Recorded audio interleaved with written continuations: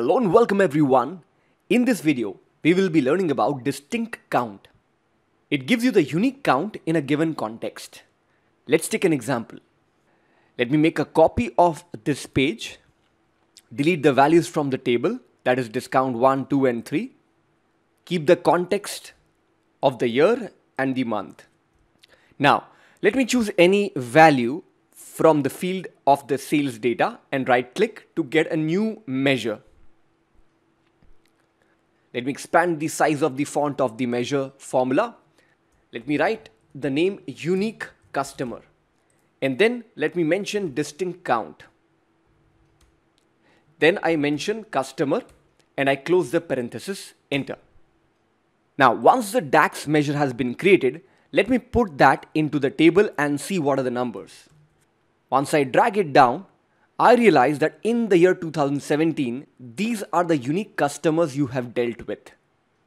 Similarly, you wish to know what are the unique products you sold in every month.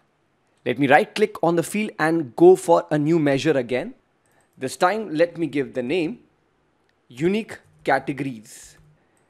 I write the same function distinct count and this time I mention category as the field input and I close the parenthesis.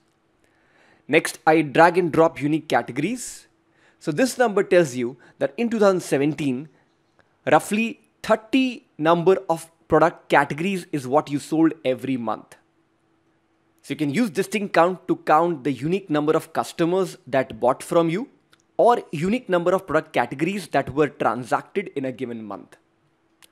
Another way to achieve that is put customer in the field of the table and then go for the drop down and then choose distinct count. You realize that the answer that you got from the measure is the same as the one given in the last column, thereby validating the correctness of our measure. As we proceed to the complex DAX functions later, we will realize that the DAX measure is even more flexible with more customization, which this click option may not be able to give you.